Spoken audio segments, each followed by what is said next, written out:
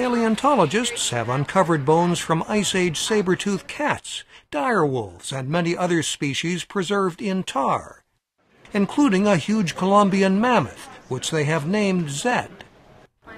In all, it was the biggest find since excavation started here nearly a century ago.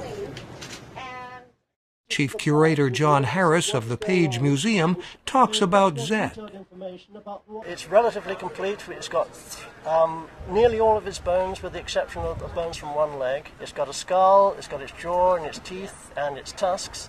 And to have something that complete from the tar pits is very unusual because normally in the tar pits you'll find the bones all jumbled up together. Scientists are now examining a cache of Ice Age remains they found as an old parking garage was being demolished. The earth and bones were packed into these oversized crates.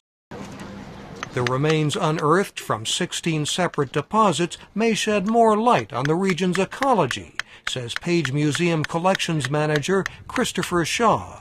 Now, the 16 deposits hopefully will be 16 different ages, and if that's the case, we will be able to see some kind of changes in the populations of plants and animals through time, through the last 40, 45,000 years of time represented here at the tar pits.